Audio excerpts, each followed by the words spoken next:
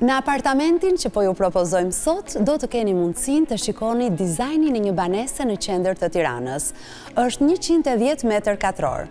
Ka qenë organizuar në hapësirë 3 plus 1 dhe arkitektja e ka kthyer në 2 plus 1 Pasi të zotët e shtëpisë dëshironin hapësira të bollshme.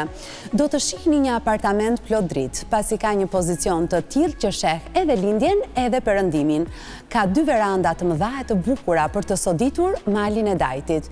Living room-i është zona që ka marrë më tepër vëmendje. Një salon mikpritës me një oxhak që është pikë fokusi e rëndësishme në të. Ndihet në arredim stili bashkëkohor, me një ndikim parizien por me nota ekstravagante në të njëjtën kohë. Dominojnë materialet natyrale dhe ngjyrat neutrale, tonet e tokës. Arkitektja që është kujdesur për të gjithë elementet e arredimit është Juliana Osmënaj. Ajo do të na zbulojë të gjitha sfidat për një rezultat që i ka dhënë shumë kënaqësi profesionale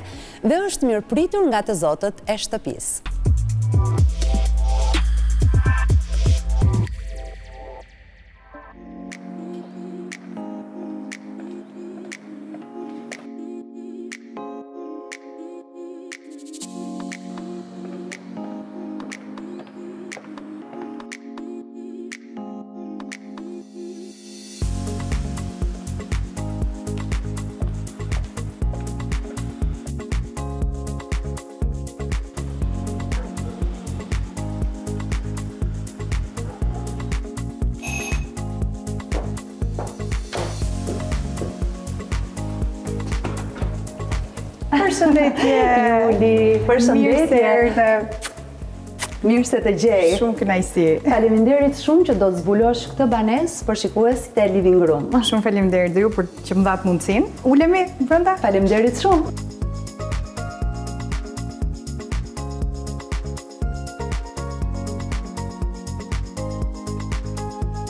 Juli që nga një living room shumë i ngrohtë. Ndoshta edhe prej oxhakut. Faleminderit dashur. Po, patjetër oxhaku i jep çdo shtëpie, jep ngrohtësi realisht. Aq më tepër tani në dimër, po. që ndihet akoma më mhm. shumë ajo ngrohtësia e oxhakut. Ëm, jemi munduar të krijojmë një stil kontemporan po. realisht, duke qenë që jemi në një kohë kontemporane apo moderne po themi, por duke pasur edhe disa nota ëm të të ngrohta, duke përdorur materialet në natyralitetin e po, tyre. Po. Siç vihet re, parketi është dru masiv dhe... Menjëherë ndihet. Pjesa e oxhakut është mermer, xhamat apo kristalet, pra jemi munduar që dhe materialet të jenë në gjendjen e tyre natyrale. Natyrale. Aq sa është e mundur, patjetër. Dhe kjo patjetër që mendoj që i shton edhe ngrohtësi. Është një apartament i madh. Është diku te 110 metër katror. Po, 110 metër katror. Origjina në fakt ishte 3 plus njëshe. Po. Por duke qenë që të zotët e shpisë janë çift në moshë deri mhm. diku dhe vajzën e kanë të rritur, po. pra një fëmijë që kanë, kështu që e përshtatën në dy plus njëshe duke i dhënë më shumë hapësirë hapësirave. Po. për t'iu përshtatur dhe stilit të tyre të jetesës normalisht. Dhe si është organizuar tani? Kemi ambientin e living, ambientin e ndenjes ku ne jemi aktualisht, po. që përmban pjesën e zonës së ndenjes dhe ngrënjes. Zona e ngrënjes që është pak më ceremoniale, jo po. për përditshmërinë mhm. realisht. Në guzhinë, pastaj është dhe guzhina, që është në krah të living, aty po. është edhe ajo pjesa e ngrënjes ditore, po e themi mhm. deri diku.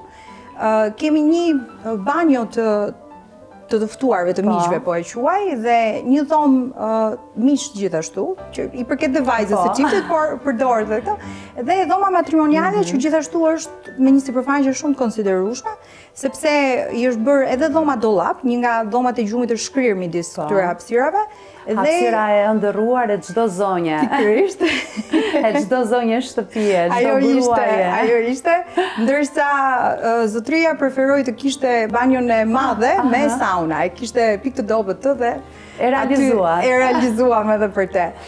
Gjithashtu shtëpia ka dhe dy veranda shumë të bollshme. Mhm. të cilat shohin perëndimin dhe lindjen, po. si si apartament është i ë është i vendosur pak a shumë në perëndim jug lindje, domethënë është po. goxha, është goxha i bollshëm me mhm. dritë, me ngrohtësi gjatë gjatë dimrit sidomos ndihet kjo kjo gjë dhe janë janë të shfrytëzueshme dhe ndihesh rehat në këtë Tiranën tonë që deri diku ka më shumë ndërtesa po themi se sa se sa hapësira, por duke qenë në kat të sipërm dhe me po. verandën, ndoshta pak më vonë mund edhe ta shohim njërën nga verandat që janë janë të rehatshme për të për të pirë një çaj, një kafe apo një gotë verë gjatë verës, sidomos shijohen realisht, janë janë të bukura. Çfarë e përcaktoi stilin e arredimit që do të ndiqnit në këtë apartament? Um, çifti patjetër, uh -huh. pati ato kërkesat e veta, me të drejtën ka qenë pak e vështirë, sepse uh, duke qenë edhe njerëz në një farë moshe që pak a shumë me, i kanë kaluar po.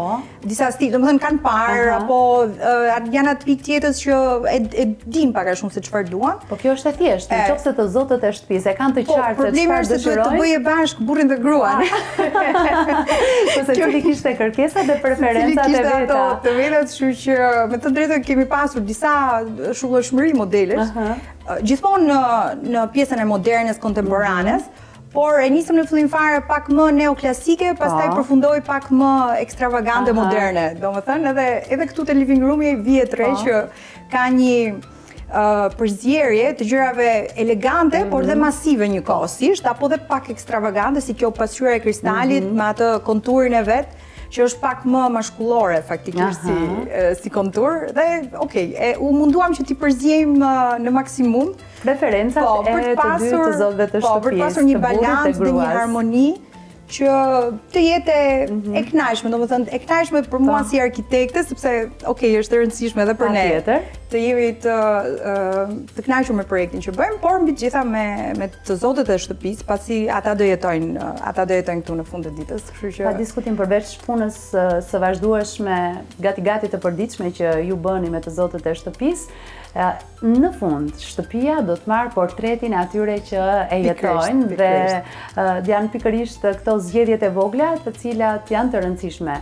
Arkitektët, profesionistët bëjnë mundur që hapsira të shfrytëzohet në maksimum, patjetër. Por edhe të të lehtësojë ditën, ta jetosh bukur në shtëpinë. Patjetër. Domethënë, ne bëjmë dhe këtë pikërisht të balancën, midis elementëve të ndryshëm, Dhe kjo është ajo që ti kur futesh në një ambient e kupton që ka një arkitekt, sepse asgjë po. nuk është e tepruar. Edhe në qoftë se janë Dhe asgjë nuk është rastësore, po, kështu që po. i referohemi konkretisht asaj që shohim në këtë apartament, duke nisur nga kornizimi në të cilin dominon ngjyra e bardhë. Po, jemi uh, jemi munduar të mbajmë një ngjyrë neutrale mm -hmm, për sa i mhm, përket mm -hmm. uh, mureve, Duke qenë që kemi disa elementë goxha të fortë, duke filluar me oxhakun, po. me divanin, po. është goxha bie në sy, domethënë, është masiv që në tonëza, dhe patjetër këndin e... Shumë shumë. Po, po. Jo, domethënë, është bërë për t'u shtrirë. Dhe këndin e ngrënies, që ka atë theksimin e vet me pjesën e pasqyrës. Pasqyra përveçse e bukur, nuk e lamë kristal të pastër, mhm. pikërisht që edhe mos të bënte një super shkëlqim, po. sepse ka goxha dritë dhe i bie në krah edhe një nga vetratat, e, e zbutëm pak duke i dhënë këtë filtrin gjysmë gold, që dhe e përshtatnim me drurin, Tavulina e ngrënies gjithashtu është realisht pikë dizajni e veçantë po. sepse është dru masiv i punuar me mhm. resinë dhe është realisht i veçantë. Dhe një pikë tjetër po. që jemi munduar të bëjmë është filomuri, i cili bën totalisht izolimin e, e dyerve të dhomave po. së gjumit dhe uh, edhe e ngroh sipërfaqen e murit, sepse druri ka gjithmonë atë ndjesinë tjetër. Përshtatet dhe me drurin masiv të mhm. parketit, Por bënte këtë konturimin neoklasik, po. kontemporan, dhe patjetër shkrirjen e gjithë ambientit konturimin e tij. Duket lineare, pa ndërprerje. Pikërisht, mm. pikërisht, jemi munduar të mbajmë pak, ndoshta po. pak të mëdhaja, por të jenë të gjitha në harmoni dhe të patepruara. Pra, e mbushim mjaftueshëm ambientin dhe duke qenë një 2 3 4 pjesë, po. pra ato ato janë që bien në sy dhe ato mbeten kryesore, protagoniste mm -hmm. po mhm. themi të të dhomës së ndenjes.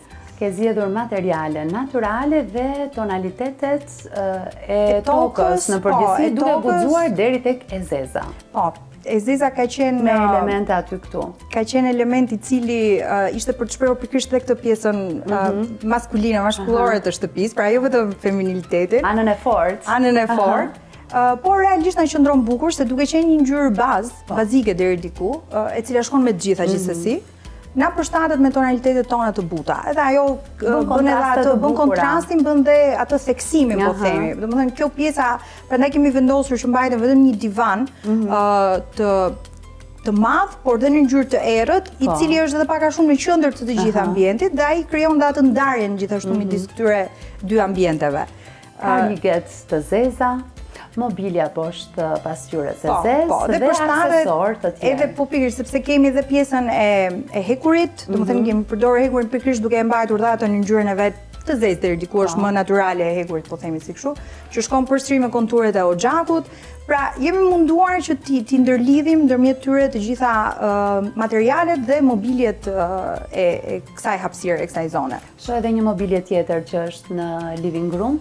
Në këthin, a është Ajo është bibliotekë, apo? po është bibliotekë dhe vinotekë. Pikërisht, është bërë një miksim, është një mobilje e dizenjuar nga unë. Mhm. është bërë, po themi, tridimensionali, konturimi, po. pjesa e materializimit, dimensioneve dhe të gjitha, është bërë enkas për këtë, për atë kënd aty me pak fjalë, sepse donim edhe një mini bar, por edhe një bibliotekë, Jo tërësisht klasike, siç jemi po. mësuar të shohim, po pak më moderne, më ndryshe, që edhe mos të bërtiste, po. por dhe të binte në sy. Edhe prandaj kemi përdorur dhe materialet atje edhe drurin, edhe hekurin, edhe xhamin, pra i mhm. kemi përfshirë të gjitha materialet që kemi në, në këtë dhomë.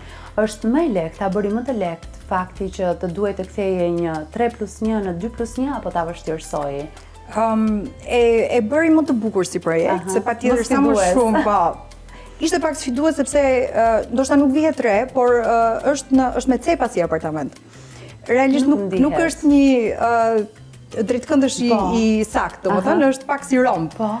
Dhe kjo ishte sfida më e madhe faktikisht, pikërisht që mos të ndihej shumë kjo pjesa e e këndeve. Mhm. I kemi sistemuar pak hapësirat që edhe living room-i të ishte goxha i bollshëm. Po. Siç është. Dhe siç thashë edhe dhoma matrimoniale, edhe ajo të kishte goxha hapësirë, domethënë. Dhe unë kam shumë dëshirë që të mund ta shohim. Patjetër, shkojmë shohim atë.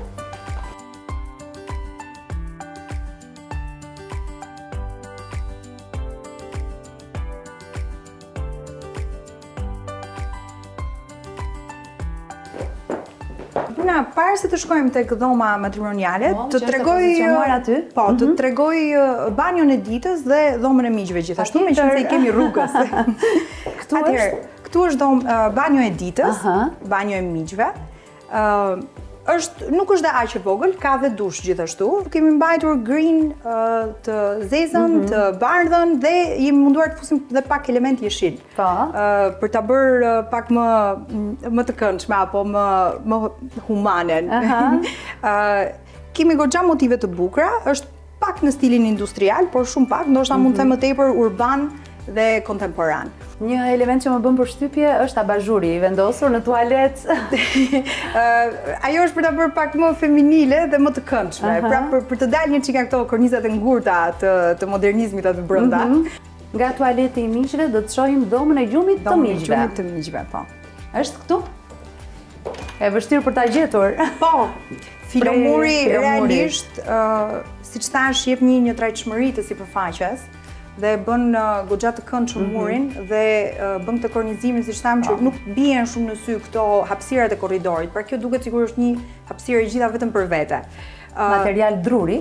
Kjo është dru origjinal mhm. gjithashtu, i trajtuar me lyerje, semi gloss, pa shumë shkëlqim. Pra, edhe jo fare mat, po dhe pak shkëlqim i përfshirë në të. Këto detaje që mundohemi duken ndoshta të parëndësishme, por në kuadrin e të gjithës, kanë rëndësinë e tyre dhe këto gjëra. Ne nga takimi në takim pikërisht këtë kemi kuptuar që janë jo detaje, por janë shumë të rëndësishme.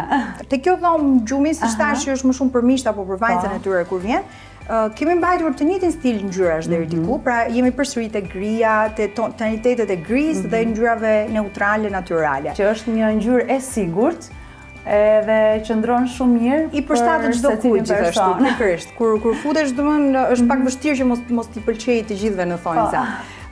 kemi shfrytzuar murin për pjesën e dollapeve, po.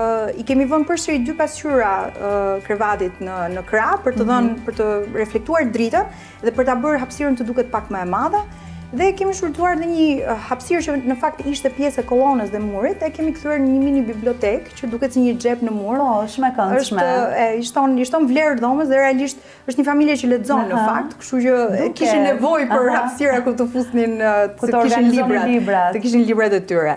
Jemi në të njëjtin stil, Vazhdon patjetër parketi është në, në të mhm. gjithë shtëpinë, uh, po. pjesën e ndriçuesve jemi munduar ta mhm. mbajmë në të njëtën mënyrë, uh, me këto ndriçuesit pra me uh, skelet metali po. dhe uh, poçat kristal mhm. ose xhama të lyer me po. pak fjalë. Pra jemi në këtë lloj në në këtë lloj stili edhe për pjesën e ndriçuesve, domethënë Siç thashë, çdo gjë është munduar, jemi munduar që ta përfshijmë që të jenë elementë të cilët ndajnë diçka me njëri tjetrin, qoftë në material apo në ngjyrë apo në teksturë. Dhe prandaj krijojnë këtë harmoni. Është ky korridor i vogël i cili na orienton drejt dhomës matrimoniale.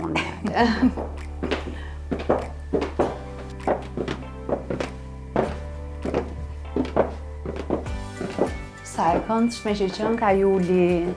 Është goxha e bollshme, siç të thashë, edhe kjo është me me kënde realisht, por jemi munduar në maksimum që ta t'i fshehim apo t'i shfrytëzojmë në mënyrën e duhur që më të bien në sy për mirë, jo për keq. Ehm, Gjëja kryesore në në këtë hapësirë është patjetër krevati po. king size. Mhm. Dhe pikërisht prandaj kemi bërë një kokë krevati të madhe sa faqja e murit për ta theksuar më tepër. Mm -hmm. Dhe realisht na ndihmon edhe të fshehim pak këto pjesën e cepave siç të thashë. Uh, aty kemi uh, pjesën e uh, komodinave, Aha. e kemi zgjatur pak, duke qenë që kemi më tepër hapësirë. Uh, abazhurët janë të ndryshëm, por uh, qëndrojnë shumë bukur me njëri tjetrin, sepse siç e vë re kanë këto tonalitetet e, e ëmbla, pastel, pas dhe nuk bien nuk bien shumë në sy. Ndriçimi nga lart gjithashtu ë është i shton vlerë, mhm. pavarësisht se abazhurët janë dhe nga poshtë, po janë më tepër për stil se sa po, për ndriçim. Po, po. Domethënë dhe kjo ka qenë uh, pjesa moderne po themi me këtë mhm. pjesën pak më më klasike, më neoklasike gjithsesi. Po shoh uh, me ndriçimin veçanërisht në këtë dhomë ke punuar në nivele të ndryshme. Po, po kemi, kemi ndriçimin LED, kemi ndriçuesit uh, e varur, kemi ndriçuesit e tjerë të cilët janë në formën e abazhurit. Dhe patjetër disa spote. Dhe spotet. Duke qenë që është dhomë gjumi dhe shumicën e rasteve ndoshta nuk duhet një ndriçim shumë i madh, Prandaj kemi bërë disa lloj elementesh që midis fikjes dhe mhm. ndezjes së të dyve, krijohet një atmosferë sipas dëshirës. Ka dhe një kënd studimi, kështu që me raste do dhe pak më tepër ndriçim, pavarësisht aty kemi vënë televizorin për të mhm. qenë përball përball krevatit dhe të jetë i rahatshëm po. në, në pamje. Uh, por ka dhe këto këndet e tjera që përsëri uh, janë pak më romantike, më uh, më private gjithsesi. Po. Uh, dhe kjo pjesa e ndriçimit na ndihmon në, në theksimin e tyre sipas dëshirës së uh, së përdoruesve patjetër të zotët e shtëpisë. Pra, për të krijuar atmosferë atmosferë të ndryshme dhe për të përshtatur kërkesave të ndryshme të relaksit apo studimit apo çfarë shoh se ka ndriçim gjatë ditës të bollshëm. Është shumë e bollshme. Kjo është realisht një gjë shumë e bukur, mhm. shumë jo vetëm në pjesën e ndriçimit, po edhe në pjesën e ngrohtësisë realisht. Hyn dielli është gjithandej është është mjeku. Po. Përveç ndriçimit shumë të mirë që bën. Një gjë tjetër që ramë dakord me çiftin dhe e pëlqyen edhe ata si ide, duke qenë që edhe banja matrimoniale është goxha e bollshme. moderne dhe shumë shumë funksionale, siç thashë kemi dhe një sauna po. brenda. Dushin e bëmë, i dhamë një dritare, edhe nga dhoma e gjumit. Sa interesante, unë mendova që është pasqyrë po, pjesa këtu, por është, kjo qenka xham, është xham dhe duke... Mbrapa ke vendosur pasqyrën, edhe të krijon këtë iluzion optik. Fiks, krijon. Çfarë gjetje? Kalojmë edhe tek dhoma dollap, e, cila ka këtë veçantinë gjithashtu, të dyerve rrëshqitëse, po. përsëri xhami, kristali. krijon një ndarje uh, fizike, por mm -hmm. vizualiteti është gjithmonë aty.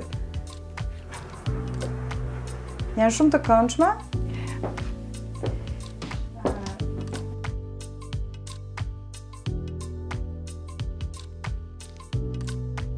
Dhoma e dollapit është një dhomë. Po, është është dhoma që që iku. Aha. Uh, Patjetër që ishte dëshira e zonjës për të pasur një dhomë dollap, edhe me, me arsyetim shumë të mirë realisht, mm -hmm. për çdo zonjë është e nevojshme diçka e tillë. Uh, kemi mbajtur të njëjtin stil, pjesë që ah. vjen, është kjo kontemporania, moderne, jemi pak edhe më të modernizuar madje me ndriçimin LED, me ndriçimin ndriçuesi po të vësh re është pak më industrial, pak më modern, por na u përshtat shumë bukur sepse kishte spotet që ktheheshin në drejtime të ndryshme. Dhe pavarësisht se dollapet kanë edhe vetë ndriçim nga brenda, mm -hmm. gjithsesi kjo e, e kompleton shumë bukur. Dhe patjetër këndi i i make-upit apo mm -hmm. i uh, bizhuterive, pra përgatitjes po themi. ë uh, Dollapet janë në dru gjithashtu, uh, në ngjyrë natyrale, po. duke u përshtatur jemi munduar uh, të marrim tonet që ka parketi realisht. Domethënë, aty ku kemi përdorur po. dru, jemi munduar që të marrim mhm. tonalitetet mm -hmm. që ka parketi, sepse parketi duke qenë dru masiv, uh, i trajtuar shumë pak, pa. Po. vetëm me lak, ka uh, tonalitete të ndryshme. Aha. Nuk është vetëm një ngjyrë normalisht. Dhe kjo është e bukura realisht e parketit të, të drurit.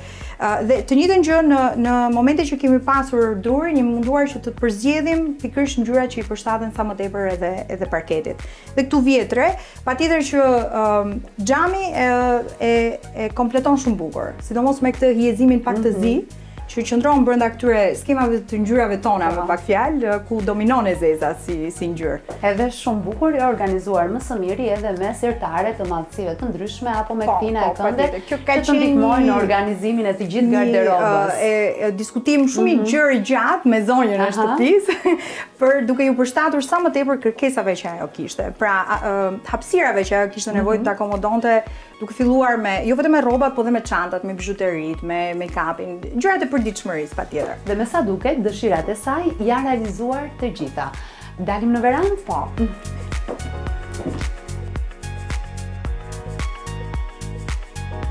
Juli, sa verandë e bollshme, e madhe, e bukur dhe e kujdesur. Shumë, janë shumë merakli të gjelbërimit mm, faktikisht. Duket. Pas kemi ulli, Po na ka bërë dhe kokrra mm. ulliri.